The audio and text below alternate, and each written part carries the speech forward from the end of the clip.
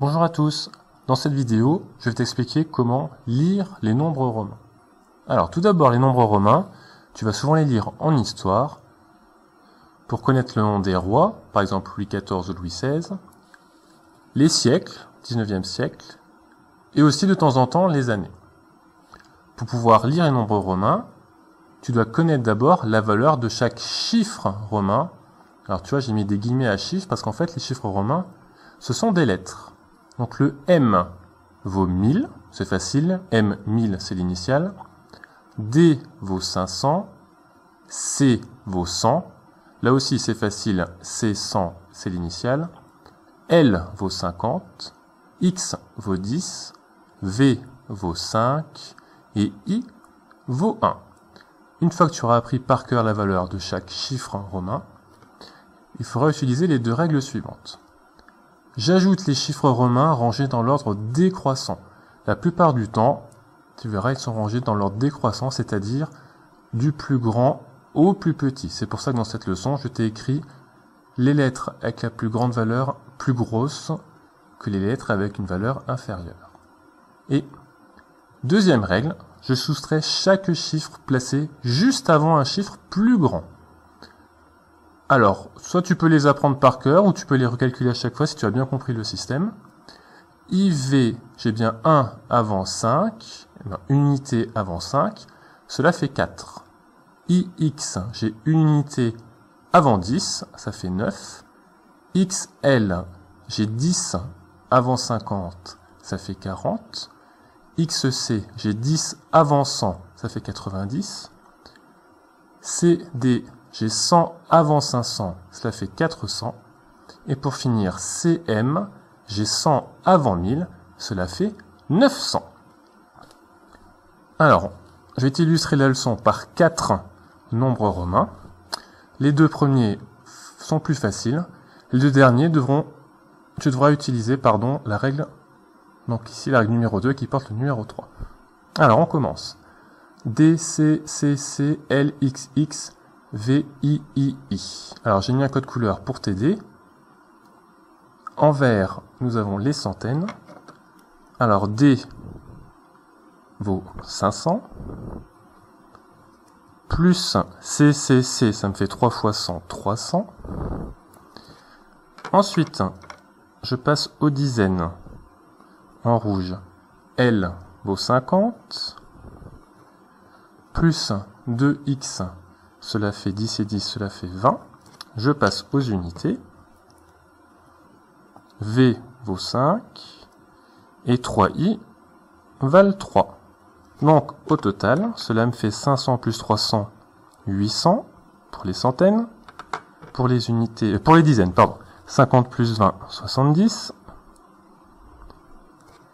Et pour les unités en bleu, 5 plus 3, 8. Donc ce nombre romain vaut 878. Le deuxième avec des milliers. Donc j'ai 2m, cela me fait 1000 plus 1000, 2000. Ensuite, les centaines, j'ai 1c, cela fait 100. Pour les dizaines, j'ai 3x, donc ça me fait 10 plus 10 plus 10, ou 3 fois 10, 30 si on va aller plus vite. Et les unités, j'ai 2i, cela fait 1 et 1, 2. Donc ce nombre vaut 2132. 2 pour les 1000, une centaine, une dizaine et deux unités. Trois dizaines, pardon, trois dizaines et deux unités. Alors les deux derniers exemples sont un petit peu plus compliqués car il va falloir utiliser les exceptions ici. Alors C, j'ai une centaine.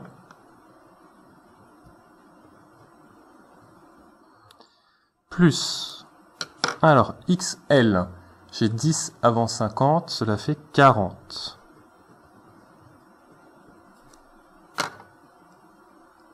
Les unités, 5 et 1, on va essayer d'aller un petit peu plus vite, cela fait 6.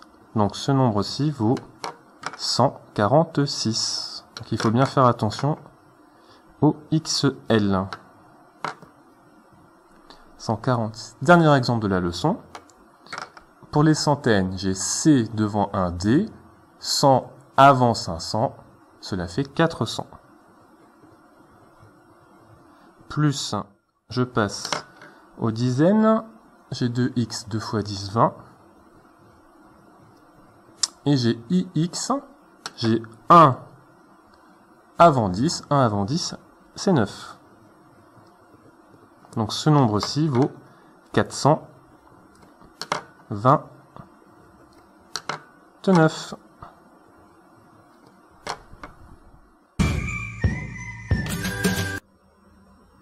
Pour vérifier si tu as bien compris comment lire les nombres romains, je te propose de lire les 8 nombres romains suivants. Pendant le bruitage, n'hésite pas à prendre une feuille, à faire l'exercice en utilisant le code couleur et à revisionner la vidéo si tu as oublié certaines valeurs. Dès que tu as terminé, relance ta vidéo pour suivre la correction. C'est bon, tu as fini? Passons alors à la correction. Premier nombre. XXVII. Je regarde les dizaines en rouge. J'ai 2x. Cela va me faire 2 fois 10. 20. Plus les unités en bleu. VII. 5 plus 2. 7. Donc mon premier nombre était égal à 27 de dizaines et 7 unités. Deuxième nombre. CCC.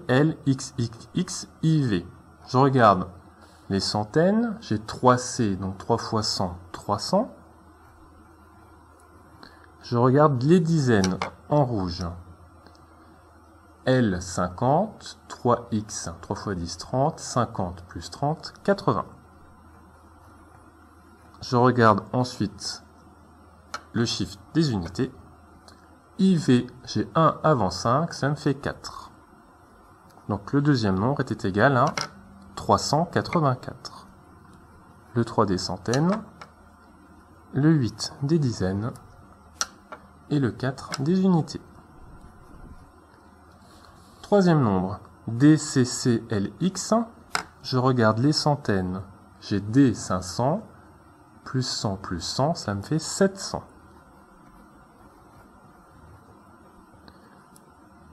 Je regarde ensuite les dizaines en rouge. LX, L50, plus 10, 60. Donc ce nombre-ci valait 760. Le 7 des centaines, le 6 des dizaines et le 0 qui bloque dans la colonne des unités. Quatrième nombre, MCDLXXIX. Alors, je regarde les 1000. J'ai un millier, donc 1000. Je regarde ensuite les centaines en vert. CD, j'ai 100 avant 500, ça me fait 400. Je regarde ensuite les dizaines. LXX, donc 50 plus 10 plus 10, 70 et je regarde les unités. IX, j'ai 1 avant 10, 1 avant 10, cela fait 9. Donc ce grand nombre valait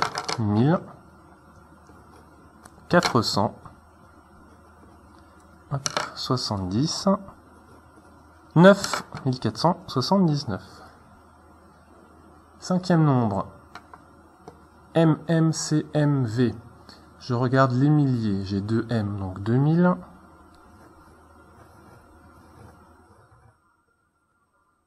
Ensuite, les centaines. J'ai CM. J'ai 100 avant 1000. 100 avant 1000, c'est 900. Les dizaines, je n'en ai pas. Donc je passe directement au chiffre des unités. J'ai V, qui vaut 5. Donc il y a, un petit piège de colonne de numération. Donc ce nombre vaut 2000. 900 alors, si je n'ai pas de centaines, je mets un 0 bloquant. Et je mets bien le 5, du coup, dans la colonne des unités de 1905. Ensuite, nous avons DCXLVII. Je regarde les centaines. DC 500 plus 100, 600. Ensuite, les dizaines. XL, j'ai 10 avant 50. 10 avant 50, cela fait bien 40. Et les unités, 5 plus 2, 7. Donc ce nombre valait 600. 40. 7 pour les unités. Avant-dernier nombre, courage. CD, XL, IV. Alors, il n'y a que des exceptions de règles soustractives. Les centaines, CD, j'ai 100 avant 500, cela fait 400. XL, nous l'avons fait juste au-dessus, 10 avant 50, cela fait toujours 40. Et les unités, IV, j'ai 1 avant 5, 1 avant 5, cela fait 4. Donc nous n'avions que des 4. 4 pour les centaines, 4 dizaines et 4 unités. Le dernier, c'est le même principe, ce sont toutes les autres règles soustractives. CM, XC, IX, CM 100 avant 1000, cela fait 900. «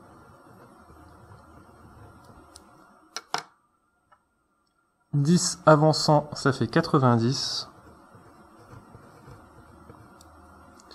Et pour les unités, IX 1 avant 10, cela fait 9. Donc tu vois, en fait, il s'agissait pratiquement de la même euh, question, de la même difficulté plutôt. J'ai remplacé simplement les 4 par des 9. Donc ça faisait 9 centaines, 9 dizaines et 9 unités. Voilà, j'espère que tu as tout juste, que tu as bien compris comment lire les nombres romains, et à bientôt au bureau du maître.